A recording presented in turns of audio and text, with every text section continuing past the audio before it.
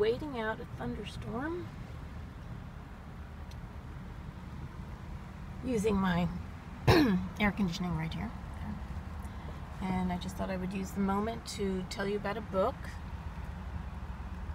uh, RV Travel on a Budget A Mother and Son's Guide to Road Schooling in the USA. And it's uh, pretty much got everything you might need to know about schooling, how to go mobile, how to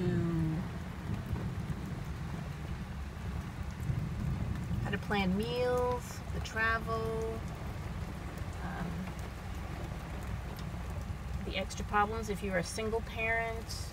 You can do this part-time or road school full-time. And there's something there about uh, how to choose your vehicle. Cost of everything, getting employment, um, taking care of your finances, how to choose a home base, what are the homeschooling regulations, how to get discounts on insurance and towing, where to park, how to park.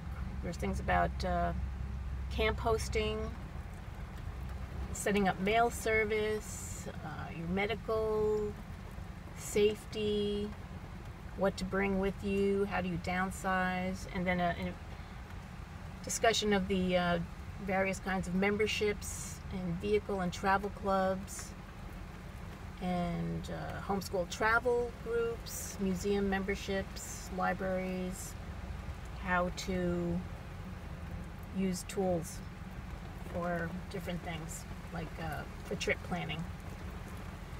So, they've been doing that since 2009, and they're going to actually be writing a revised version of it.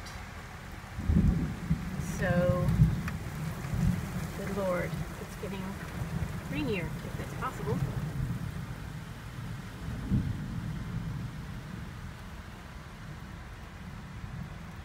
But welcome to Florida!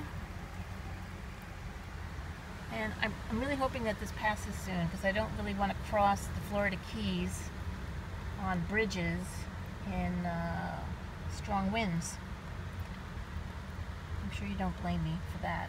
Oops, lightning. Let's get the thunders. Yeah. Well, I'm almost at my destination. It's a couple more hours. So how about that? So I'll be there for a couple of days. So if you have any questions about Key West, I will try to get them answered for you. And goodbye for now.